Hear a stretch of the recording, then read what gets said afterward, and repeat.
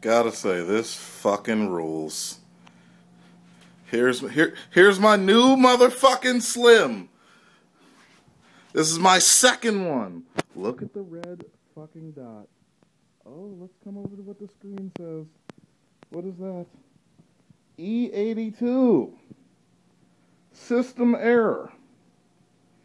Contact Xbox customer support. Let me let me turn the light on so you can see that better. E8 fucking 2.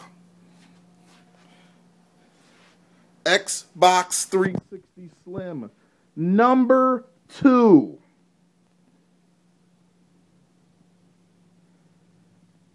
Number 2. I just turned this shit off because I was playing Monday Night Combat and the screen started getting crazy. Then it went back to normal. Then it started going a little bit crazy again. Artifacts all over the fucking place.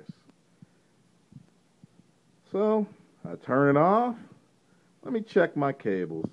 You know, I do have a Onkyo 605 HDMI 1.3 receiver.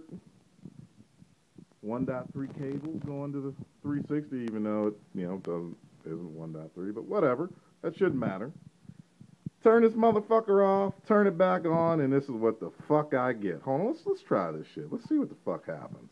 Cause I haven't even tried it. So you're watching this with me for the first time. Let's see if this starts again.